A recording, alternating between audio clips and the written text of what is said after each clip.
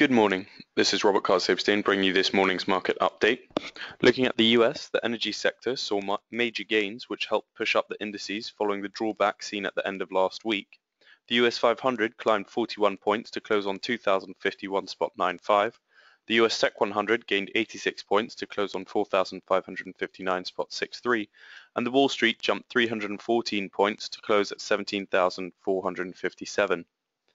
Looking at commodities, gold continues its three-week slump, losing $6 yesterday to close at $1,083.80.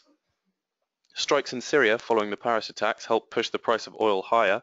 Exxon shares gained 3.58% and Chevron added 4.38%. Brent crude briefly broke through the $50 mark, however closed on $44.85 after gaining 23 cents yesterday. In Europe, the Germany 30 climbed 282 points to close on 10,806.6 and the UK 100 added 195 points to close on 6,216.9. EasyJet posted results yesterday with an 18% jump in full-year pre-tax profit, helping to offset a tough year for the low-cost airline that included strikes in France and a fire at one of its airports. The British budget airline reported a pre-tax profit of £686 million in the year ending September 30, up from £581 million in 2014. This represents another year of record earnings for EasyJet and is in the middle of its upgrade guidance of £675 million to 700 million pounds, made two months ago. Revenues at the airline, which last week celebrated its 20th anniversary, rose 3.5% to 4.69 billion pounds, up from 4.53 billion pounds. However, figures do not include any impact from the suspension of EasyJet's flights to Sharm el-Sheikh in Egypt after concerns that Russian plane crash in North Sinai was caused by a bomb. EasyJet has spent the past two weeks sending aircrafts to the Red Sea tourist resort to bring back 4,500 of its stranded customers.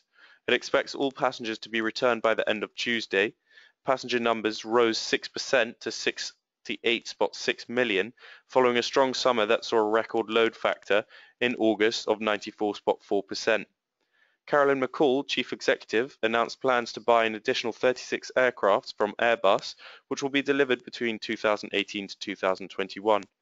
The airline also raised its dividend by almost 22% to 55.2 pence.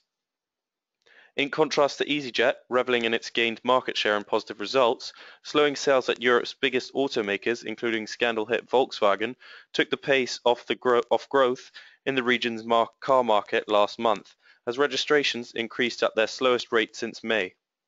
Slowing growth has partly been blamed on Volkswagen, which has been left reeling by a string of damaging revelations over its compliance with global emission test standards, Europe's biggest car maker, which accounts for one in four, about one in four cars sold in the, in the EU, admitted in September to cheating on US tests for nitrogen oxides and said earlier this month that an internal investigation had also turned up issues with CO2 testing in 800,000 cars in Europe, including almost 100,000 petrol models.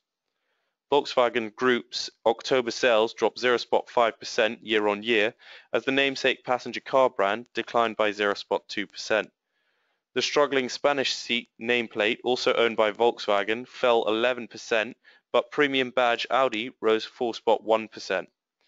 Analysts say the 12-brand Volkswagen Group has yet to feel the full commercial impact of the emissions scandal since deliveries occur several weeks after purchases are made. Volkswagen's performance, however, was not out of step with Europe's other leading manufacturers in October, with Peugeot, Renault and Opel, owned by General Motors of the US, all posting declines. Ford, however, bucked the trend with a small gain last month. In today's corporate news, Qantas is back at investment grade, according to S&P, and Paddy Power has reported online total net revenue up 7% and retail total net revenue up 7% for the period of 1st of July to 15th of November. Today's economic data in focus at 9.30 a.m. we see in the UK the Consumer Price Index for October released along with the House Pricing Index.